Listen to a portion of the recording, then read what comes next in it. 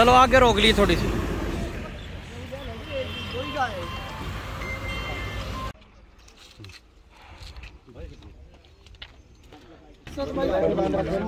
भाई, भीड़ मत लगाओ, दो दो तीन दिन तो।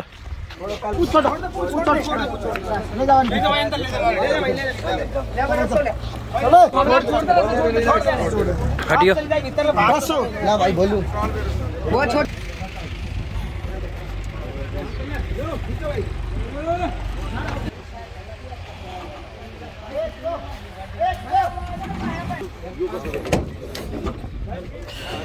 ये गोरक्षक पीछे लग जाए या पुलिस पीछे लग जाए तो पत्थर है मारने के लिए।